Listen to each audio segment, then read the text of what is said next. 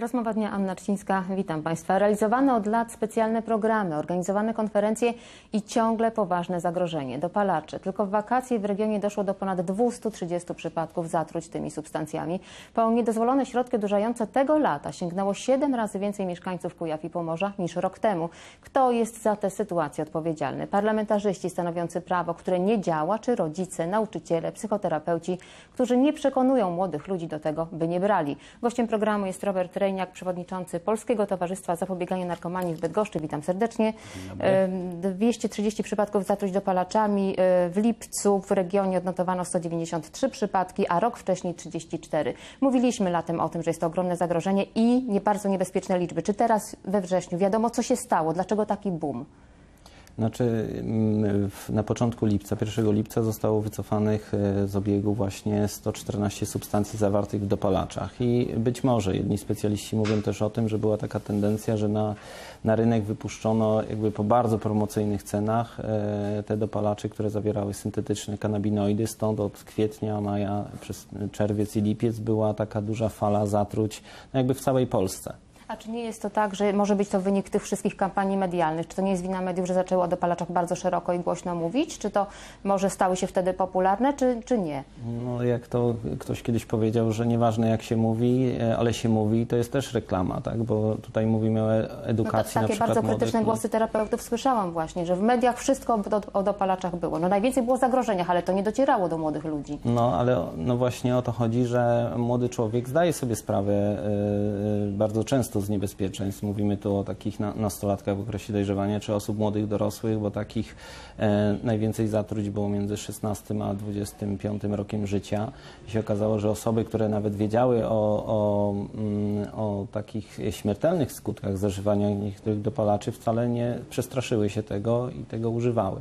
Natomiast te kampanie społeczne, które są realizowane, dotyczą przede wszystkim edukacji i młodszych dzieci, które jeszcze nie spróbowały jakby z jednej strony. E, Też, żeby to były interwencje wobec tych, którzy dopiero po raz pierwszy eksperymentują, czy stykają się z dopalaczami, ale przede wszystkim takie działania powinny być ukierunkowane czy skierowane do rodziców. Jeszcze porozmawiamy może chwilę o liczbach. Ym, Jeżeli mówimy o dopalaczach, to mówimy przede wszystkim o zarejestrowanych zatruciach, czyli mówimy o przypadkach, o osobach, o dzieciakach przede wszystkim, które trafiają do e, Szpitala. szpitali, są odtruwane, bo no, wręcz walczą o życie.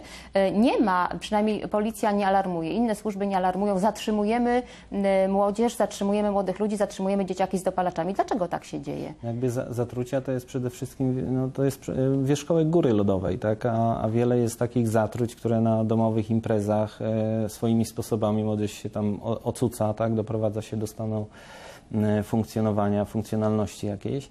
E, Natomiast ja myślę, że troszkę brakuje takiej współpracy tych różnych służb jakby w, w kierowaniu czy w postępowaniu z młodym człowiekiem, bo z takich informacji, które do mnie docierają, to bardzo często jest tak, że do szpitala e, po tygodniu trafiał ten sam młody człowiek po zatruciu również dopalaczem, ponieważ w międzyczasie jakby nic się z nim nie działo, tak? Trafił w piątek e, zatruty, został wypuszczony e, w niedzielę, e, nikt jakby o tym nie wiedział, tak? E, Przyjechał któryś z rodziców, odebrał dziecko, e, no A jak to, jak to powinno wyglądać?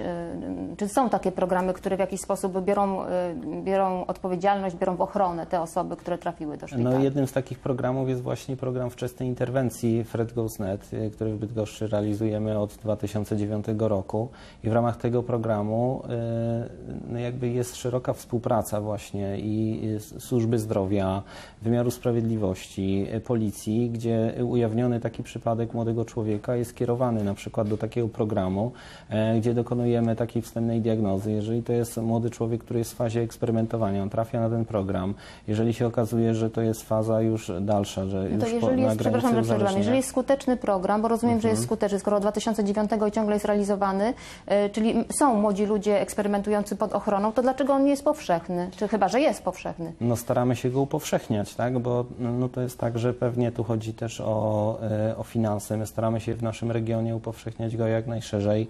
Samorządy się otwierają też na współpracę, też na, na dofinansowywanie takich programów. Też ten program finansowany jest i, i z, z Ministerstwa Zdrowia i z, e, teraz z Kuratorium Oświaty w ramach różnych programów i grantów. Czyli wczesna interwencja to program, na który naprawdę warto wydawać pieniądze, bo wtedy ci młodzi ludzie mają szansę no, skorzystać z tego programu. On to nie jest jeden dzień pogadanki, prawda? To, jest, Nie, to, to są dłuższe działania. Tak, to ale są, ale, też, ale też krótkie, też nie, nie, nie straszące młodzieży jakimś długoterminowym oddziaływaniem, a jego skuteczność z naszych, e, jakby, no nie, nie z naszych badań, bo to jest program rekomendowany przez Komisję Zdrowia Unii Europejskiej, e, ma około 50-60% skuteczności, czyli co drugi, przynajmniej co drugi młody człowiek, który ukończył ten program, e, no jakby nie realizuje tej ścieżki związanej z narkotykami, z uzależnieniami, a z danych naszej Policji Bydgoskiej, Em, Jeżeli chodzi o, e, o tych młodych ludzi, których e, policja skierowała do programu, zostali przyłapani e, na przykład łamiąc prawo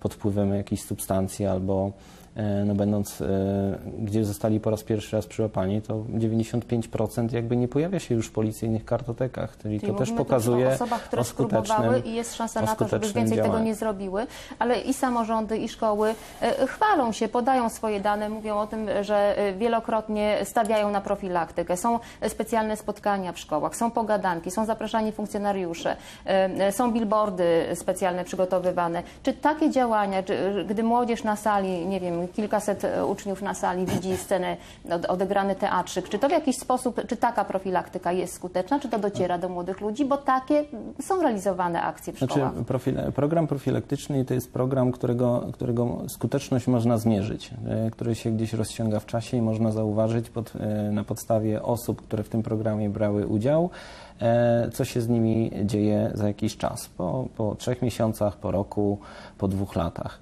E, No, trudno stwierdzić, że możemy zmierzyć skuteczność kampanii, natomiast każda e, kampania społeczna ukierunkowana na jakiś problem, tak jak to było kiedyś z HIV-AIDS, e, z przemocą domową, e, e, e, jakby jest początkiem jakiegoś e, ruchu, który e, wypracowuje pewną strategię. I w przypadku, tak jak w przemocy w, e, w rodzinie, to trwa latami przygotowanie takiej strategii, że, e, no, że mm, i również z przepisami ustawy i związane już z takimi bezpośrednio praktycznymi oddziaływaniami i pomocą takim rodzinom, takim osobom. I w przypadku dopalaczy, no tak naprawdę e, program FRED e, realizuje w Polsce, myślę, około góra 150 osób. W naszym regionie jest to kilka osób A każda i szkoła, staramy, a każda szkoła, szkoła organizuje pogadanki. Czy to, to są skuteczne działania, czy nie? No to by trzeba było zapytać szkół, tak? A ja, Szkoły. ja pytam tak. specjalisty. Znaczy, to Chodzi jest do- pan na to tego jest rodzaju dodatek. spotkania? No staram się unikać, tak, bo ja e, wiedzę zaczerpuję bardzo często od młodzieży na temat narkotyków, na temat tego, co jest na rynku.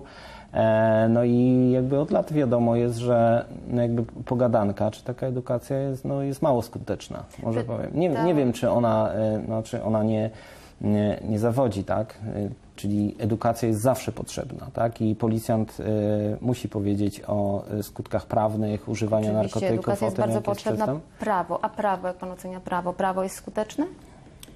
E, ale trudno powiedzieć, bo prawo jest re- realizowane. Tak? Lub nie. Lub nie. I w zależności od ludzi, którzy, którzy wykorzystują, no to można, mamy, nie wiem, myślę, że kodeks rodzinny opiekuńczy ma bardzo dobre, e, m- m- bar, mamy bardzo dobre przepisy. Nie wszystkie metody są skuteczne, jednak wiadomo, na pewno warto rozmawiać w każdym miejscu i w szkole, na ulicy, wśród przyjaciół. Przede wszystkim o zagrożeniach warto rozmawiać w domach. Gościem programu był Robert Rejniak, przewodniczący Towarzystwa Polskiego Towarzystwa Zapobiegania Narkomanii w Bydgoszczy. Dziękujemy za uwagę.